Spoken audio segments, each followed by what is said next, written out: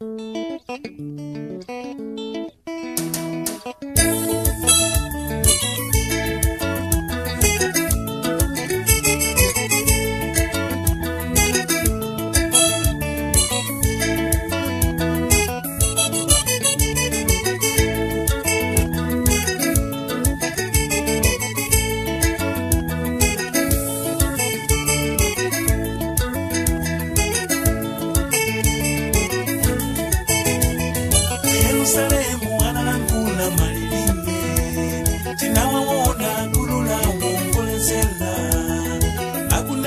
zinene rozo siyana siyana iyeni nafe titamange tigavembawo malilimbe